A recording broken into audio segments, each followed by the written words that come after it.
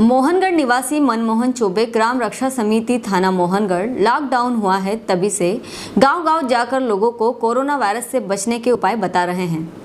बिना किसी आवश्यक कार्य के घर से बाहर न निकले और लॉकडाउन का पालन करें। बार बार साबुन से हाथ धोएँ एक दूसरे से कम से कम एक मीटर की दूरी बनाए रखें। यह सुबह सात बजे से रात्रि नौ बजे तक टैक्सी से गांव-गांव जाकर लोगों को कोरोना वायरस के बारे में जागरूक कर रहे हैं। यह कि संस्था या शासन से किसी भी प्रकार की मदद नहीं ले रहे हैं।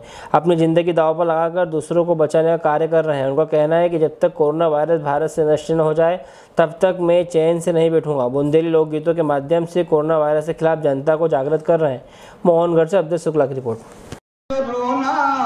पप्पू के पापा हो जे कोरोना मुँह ज़्यादा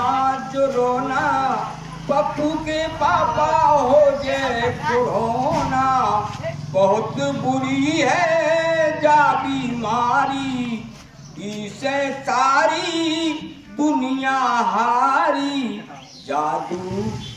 भैया जादू जादू।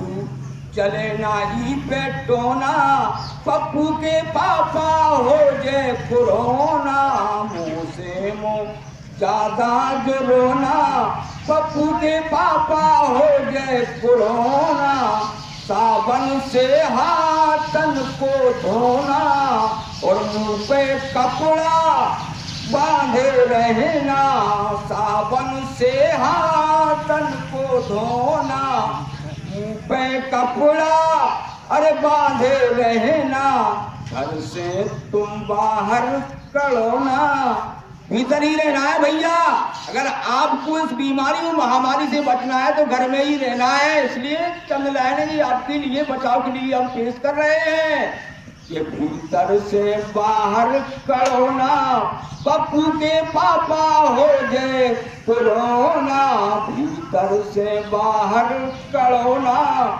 पप्पू के पापा हो जाए कोरोना सब जग में ही को बोल बाला। तो मोदी ने ठुकवा दो ताला। लॉकडाउन का मतलब है तालाबंदी। मोदी ने अपने पूरे भारत में लॉकडाउन अपनाया है, यानी सबको घर के अंदर रहने के लिए ताला डाल दिया है। जिला जिला में प्रांत प्रांत में कोई किसी के पास नहीं जाएगा। नाकेबंदी तालेबंदी कर दी है तो आपकी घर में भी ताला डाल दिया है। लक्ष्मण रेखा के माध्यम से उसका पालन करना है। तो सब जग में को बोलबाला तो मोदी ने लगवा दो ताला। ऐसो बिदो जो बिदोना ऐसो ऐसो